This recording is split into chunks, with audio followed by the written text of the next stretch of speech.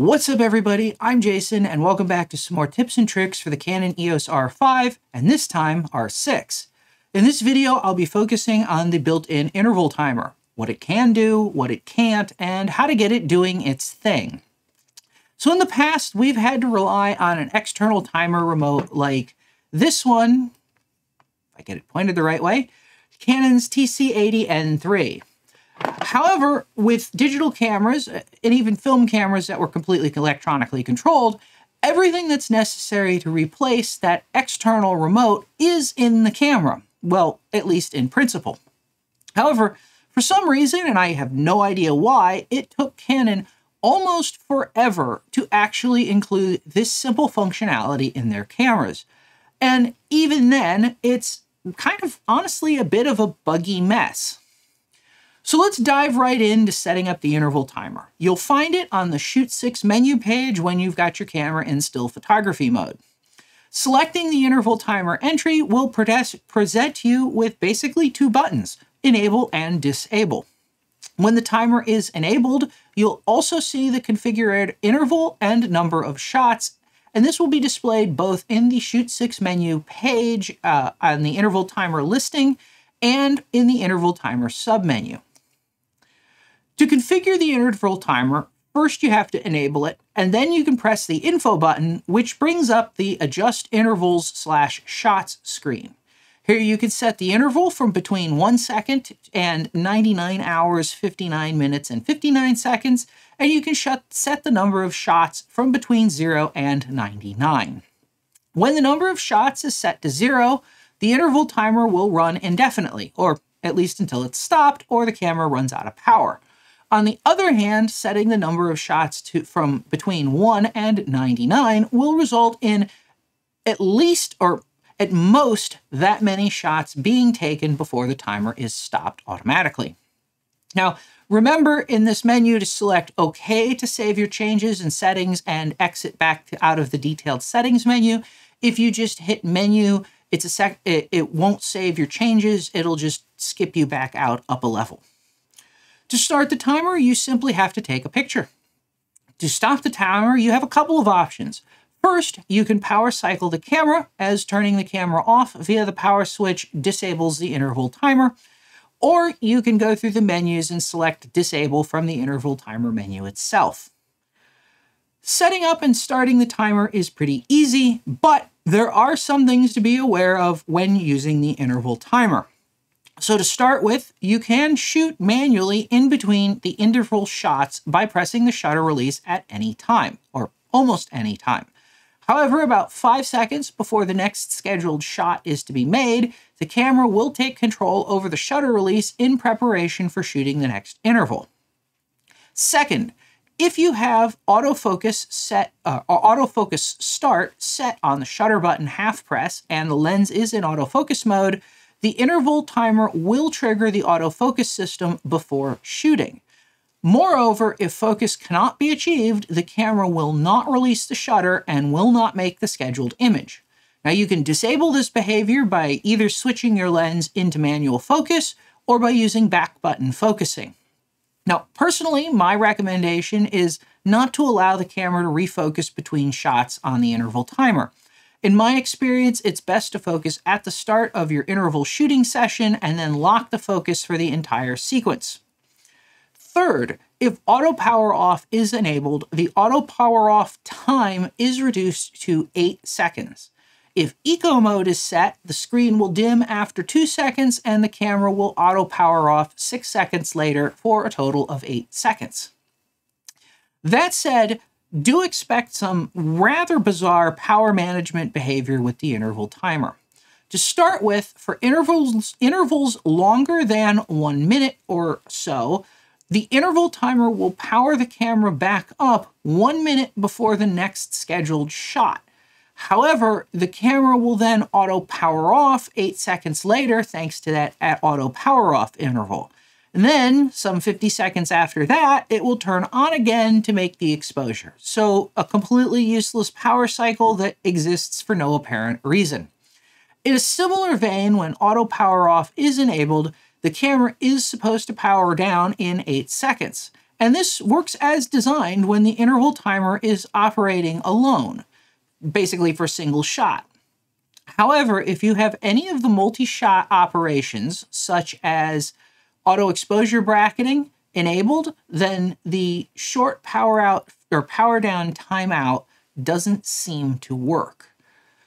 Fourth, the manual claims that the interval timer can be used with bracketing, multiple exposure mode, and HDR mode. However, if these are enabled, the interval timer will not automatically shoot the entire multi-shot sequence at each interval. At least I can't get mine to do it in my testing.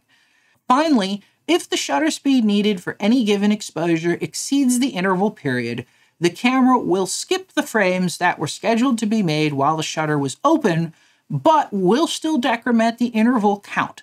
So if you have, for example, a 30 second exposure and 10 second intervals, the camera will skip three out of every four frames, but the camera will count it as having shot four frames. Which brings me real to the real crux of the matter or problems here with the interval timer. So to start with, and this is maybe a bit of a minor gripe, the interface for the interval timer is clunky at best. You have to jump through hoops with the info button to set the interval and count instead of just having everything all on one menu page. Then there's the 99 frame limit, which too is utterly bizarre to me. I can kind of understand why the TC80N3 might have such a limit, because it does, but even using the barest minimum of memory that you can have in a camera or computer, one byte, would support shooting 256 frames, and there's clearly a lot more memory in the R5 and R6 than that. Just doubling the frame or the memory available to 16 bits or 2 bytes would support 65,535 exposures, and that would be more than 36 hours of shooting at one second intervals. So on top of that, the interval timer lacks useful functionality like the ability to set a start time or start timer, or for that matter, the ability to set an end time either. Then there's the utterly bizarre power off behavior. Now, clearly Canon ported the code from their DSLRs, however, it doesn't seem like a whole lot of thought was put into what might need to be changed on a mirrorless. So on a DSLR like the 5D Mark IV, the minimum auto power off timeout is one minute, and there's no need to rapidly sleep the camera to save power like there is on a mirrorless. So waking the camera up a minute before shooting really isn't a big deal, and the camera would still be awake at the release time anyway. However, with a mirrorless camera, they added that 8 second power down timer, which of course makes sense in a mirrorless context, but they also didn't remove that one minute pre-shot power up. So the camera wakes up unnecessarily, then goes to sleep, then wakes back up just before the shot. And at a minimum, that's a completely unnecessary waste of power that just doesn't need to be there. Beyond that, the 8 second auto power off just doesn't seem like it's that reliable either. If the interval is paired with any multi shot operation, or at least ones that I've tested being auto exposure bracketing and multiple exposure mode, the camera appears to just ignore the shortened power down time completely.